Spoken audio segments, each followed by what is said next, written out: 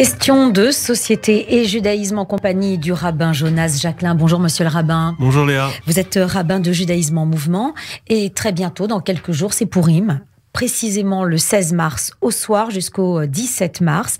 Alors, euh, on, a coutume de considérer la fête de Purim comme une fête très joyeuse, monsieur le rabbin, euh, qui commémore une délivrance, une victoire en quelque sorte. Alors, est-ce que euh, c'est aussi simple que ça ou se cache-t-il derrière la fête de Purim d'autres aspects, d'autres oui, aspects de, de, de, la fête?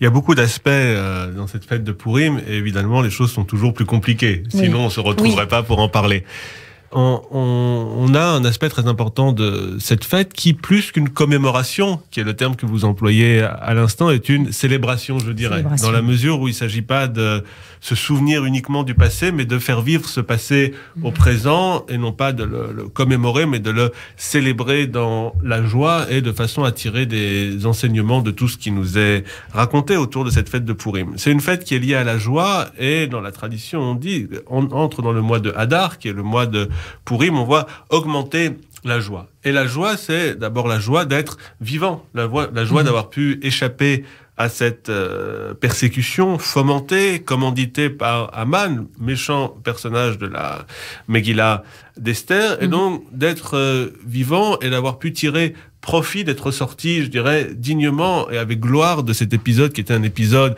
difficile où effectivement on est avec le récit de la Megillah dans une sorte de topos. On a un, cadre général qui vient euh, donner à penser, à réfléchir sur l'histoire du peuple juif, euh, indépendamment de la question de l'historicité de ce qui nous est raconté dans la Megillah d'Esther. Parce que, effectivement, si on cherchait à s'interroger d'un point de vue historique sur les éléments qui sont racontés, rien ne dit qu'ils ont véritablement eu lieu. Rien ne mhm. laisse entendre qu'on a affaire avec ce livre à une chronique qui viendrait décrire des faits réels. Et pourtant, comme c'est souvent le cas avec la fiction lorsqu'elle est bien faite, elle nous dit beaucoup plus le vrai, une réalité, une vérité que euh, certaines descriptions historiques, parce que dans cette histoire de Pourim, on a quelque chose d'absolument intemporel et on a quelque chose qui, si elle n'a pas eu lieu au moment raconté dans Pourim, a eu mhm. lieu euh, dans d'autres moments, sous d'autres latitudes et dans d'autres euh, époques. Et ce qu'il y a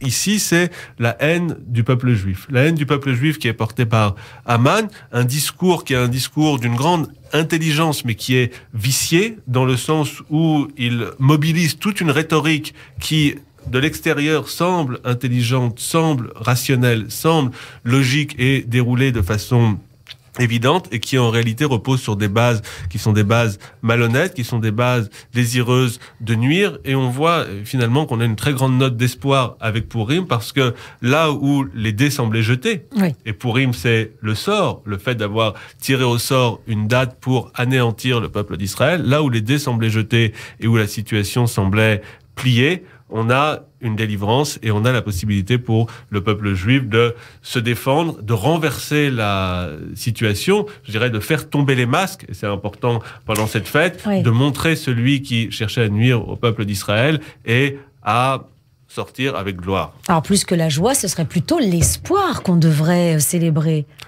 les, deux, parce que la joie est quelque chose qui vient euh, porter l'espoir, et l'espoir est là aussi pour nous rendre euh, joyeux. Et donc l'espoir, oui, parce que on a toujours cette euh, cette possibilité de savoir que dans les moments qui sont pénibles, et je dirais, on peut décliner la chose d'un point de vue plus plus individuel, plus personnel, comme c'est le cas d'un point de vue collectif dans la Megillah, dans les moments qui sont pénibles, on a eh toujours une lumière et la possibilité de trouver une délivrance. Et ce qui est intéressant dans ce texte d'Esther, c'est que partout ailleurs dans la Torah, lorsqu'il y a délivrance, lorsqu'il y a libération, on voit la main de Dieu apparaître directement. On mhm. pense évidemment à la sortie d'Égypte. On pense évidemment à tout ce que nous célébrons à l'occasion de la fête de Pessah qui arrive dans un mois. Avec la Megillah d'Esther, c'est le seul livre de la Bible dans lequel on ne trouve pas le nom de Dieu. Cela ne veut pas dire que Dieu n'est pas présent, mais il intervient de manière cachée. Il a mhm. caché sa face, il a caché, il a caché son, son visage et il est capable d'intervenir. D'où le déguisement.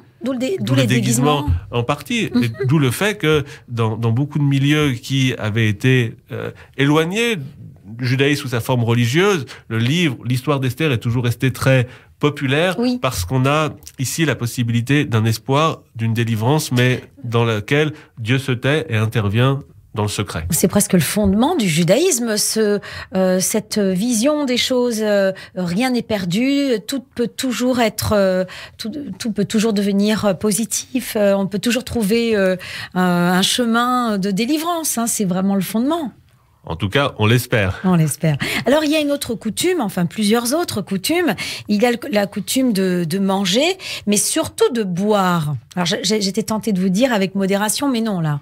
Ah, en tout cas, si vous suivez euh, les conseils, les, commandements qui nous sont donnés, c'est le seul moment de l'année au cours duquel on est autorisé à boire sans modération. On peut s'enivrer quand on dit boire. On peut s'enivrer et on nous dit que le jour de Purim, on ne doit plus distinguer euh, sa main droite de sa main gauche, on ne doit plus faire la différence entre euh, Mordechai et Aman, c'est-à-dire entre le bien et le mal. Et pourquoi est-ce qu'on s'autorise cela le jour de Purim?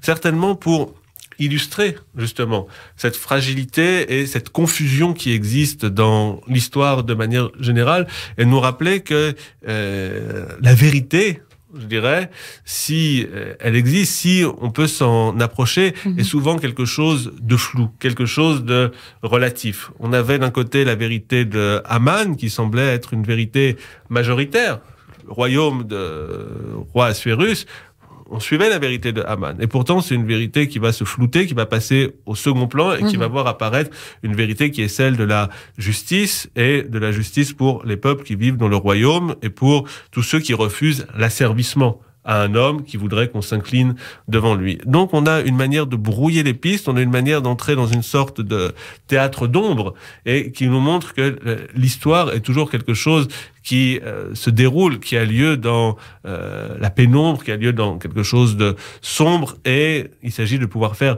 vivre la lumière, mais la lumière va exister aussi parce qu'il y a la nuit et parce qu'il y a la pénombre. Peut-être que c'est aussi une façon de montrer que les choses sont nuancées euh, dans, dans la vie aujourd'hui. Dans la vie, les choses sont, sont, sont, toujours nuancées. Et lorsque l'on s'intéresse à l'histoire d'Esther, on pourrait se dire au début, on a un conte, une légende pour enfants. Alors qu'en réalité, on a affaire au tragique et à une grande vérité de l'existence. On a des, des, des, histoires qui sont vraiment des histoires d'adultes. On a Esther qui est prise pour reine à la place de Vashti, qui avait refusé, je dirais, d'une certaine manière, de se voir abusée en public par le roi. On a une femme juive qui doit cacher son identité. C'est presque un drame, en fait. C'est un drame. On pense à la pièce, évidemment, de, Racine, mhm.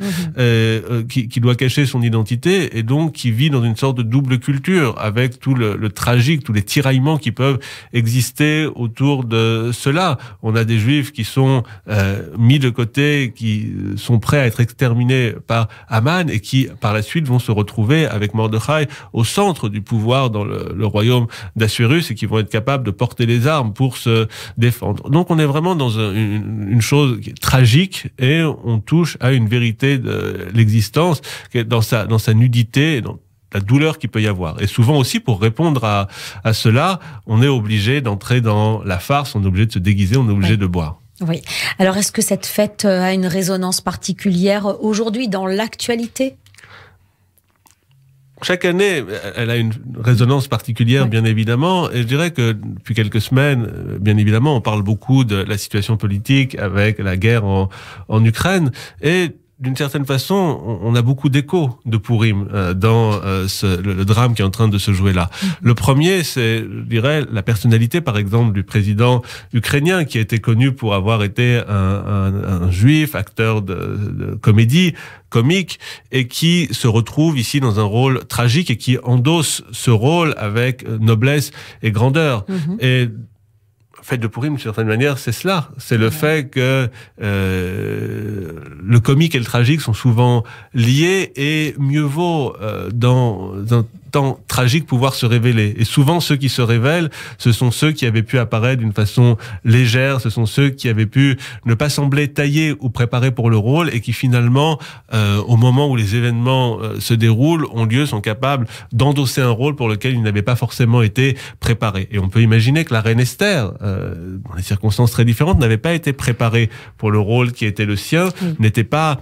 là pour devenir la grande héroïne qui permet au peuple juif d'être sauvé, un petit peu comme celui qui, il y a quelques années, était un, acteur euh, télévision, n'était pas forcément prêt à être le, le, le symbole d'une résistance à un empire, le symbole de la résistance à une armée bien plus forte que lui. On a aussi quelque chose qui vient illustrer la condition juive dans un pays qui a été marqué par l'antisémitisme pendant des, des, siècles et des siècles, et qui est porteur d'une histoire euh, tragique, horrible à ce niveau-là, qui euh, connaît une forme de, de, de renversement mmh. et qui va voir le juif finalement qui est euh, une clé de la délivrance, comme Esther qui pendant longtemps avait caché son identité et qui se trouve là encore à venir révéler quelque chose. Et donc on, a euh, aussi l'idée que rien n'est jamais perdu et on, on, a dans cette situation quelque chose qu'il faut aussi penser un petit peu à, à Hanouka ou au, combat de David contre Goliath, beaucoup de résonance biblique sur le fait que euh, rien n'est jamais écrit